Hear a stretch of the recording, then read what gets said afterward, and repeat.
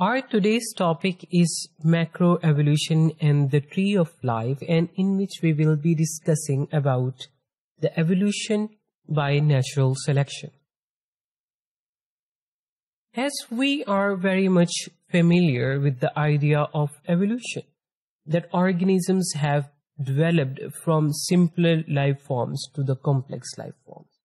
And in paleontology, we have to study the fossils to study all of the evolutionary aspect of the fossils. And one of the earlier scientists, Darwin, was the first scientist who laid the framework for the evolutionary biology 150 years ago.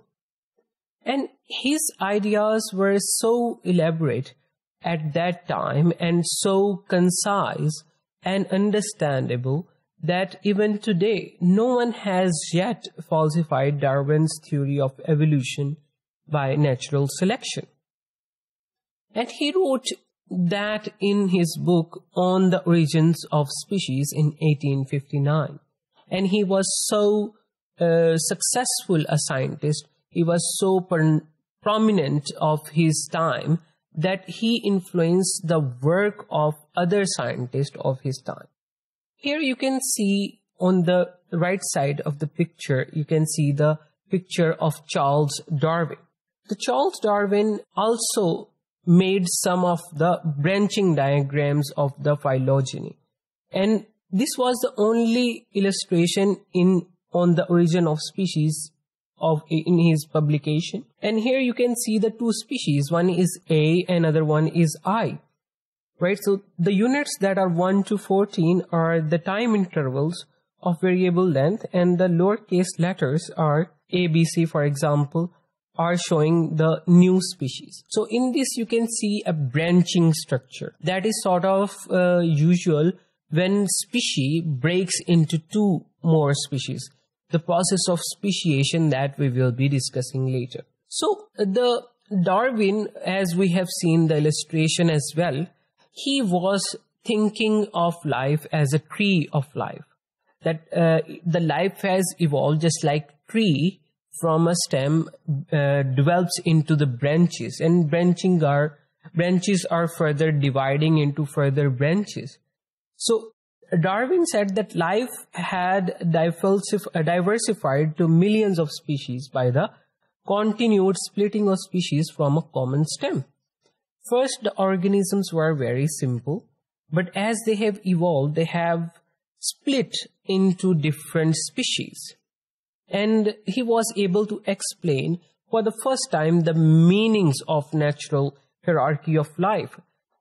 Earlier than Darwin, the Carolus Linnaeus was the first scientist who was able to devise some uh, hierarchical system of life he uh, made some taxa, uh, taxa and he classified the organisms based on the morphologies.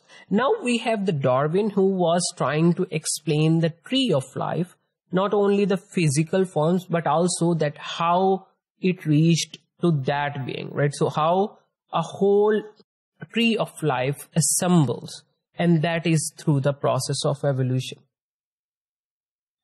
So the first thing is macro evolution. As the name indicates, macro, wherever the word macro comes, that means big. So macro evolution is dealing with the broader aspect of evolution. For example, the paleontological aspects of evolution, uh, such as the tree of life and studies of processes over thousands and millions of years. Tree of life was not made in one day, and so does the uh, processes which are changing and evolving for thousands of millions of years. So the macroevolution is dealing with that. And this is called macroevolution. Macro means big and so macroevolution is the big evolution. So another aspect of evolution is microevolution. Microevolution we can see in the laboratory in simple one experiment. The biologist and uh, uh, sorry, genetics, mm, geneticists are working in the lab or, or in the field and they are working on the microevolution. Micro means small, so microevolution is small evolution. Microevolution are all the smaller scaled and shorter term processes studied by the biologists and geneticists in the laboratory or in the field. Now, Darwin worked all his life on his idea of evolution by the natural selection. This idea was not developed in some evening. It was developed by continuous work. He departed on his voyage, a famous voyage of a whole world. He circumvented the earth on HMS Beagle and in which he uh, visited different islands just like Galapagos Island in Southern America, right? So during uh, his journey, he was able to observe the diversity of life. And uh, in, in that journey, he was able to study the geological samples as well as the biological samples in which he was able to see that there is evidence of a relationship in time and space. So if an organism is living at one place and we see the fossils of that, and after that, you know, that, that organism changes into some other organism and we can still see the descendant of that fossil organism and that is in one space and also in the time, right? So the fossils are older, but the contemporary organism are the relatively newer. And he was aware of the fossil record. He studied many fossils. And he was also influenced by the Malthus work, right? So Thomas Malthus was uh, an economist, right? So he was, his work was on the population. He said that population grows more, resources are very less.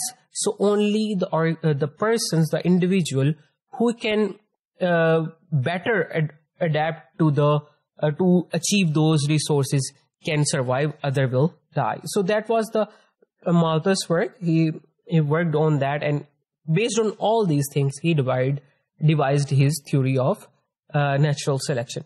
Now, principle of natural selection: only the organisms best adapted to their environment tend to survive and transmit their genetic characteristics in increasing number to succeeding generation, while those less adapted tend to be eliminated. These are the exact lines on his, from his uh, the publication. He said that organisms which are adapting, they will survive. Those who are, those who are not adapting, they will die. And uh, that natural selection is based on if we, you know, uh, devise it down, we divide it down, we can see the four postulates out of it. Uh, let's see what are those. And nearly all species produce far more young than, than can survive to adulthood. So uh, this is uh, exactly the Malthus principle that organisms are more, resources are less. So in the less resources, only those will be able to survive who have the capability of surviving through adaptability. And the second is the young that survive tend to be those best adapted to survive, right? So those who are best adapted, they will survive, other will die. Now, the characteristics, uh, characters are inherited from parents to offspring. So the characters that ensure survival tend to be passed on. Only, uh, all right, so we have some genes, we have some characters, that are helping some organism to survive. So if those characters are present in some organism, they will survive. If there are no characters, that organism will die because those characters are helping him to survive. Now, the last four is the these survival characteristic will increase generation by generation. A cheetah who is, you know, maybe chasing an impala, he will evolutionarily uh, adapt to become more and more vigilant and more and more able to run. But what if uh, there is some limitation to that as well? He won't run uh, till the terminal uh, speeds because he has some body capabilities and those body capabilities will limit his run, right? But he will run till his limits. So, uh, and so is the case for the evolution. Evolution will be uh, evolving an organism to its biological limits. So these were the uh, evolution by the natural selection ideas that were giving, uh, given by the Darwin. And these whole things gave rise to a new science which is called Neo-Darwinism. And of course, we will be discussing that in the later lectures.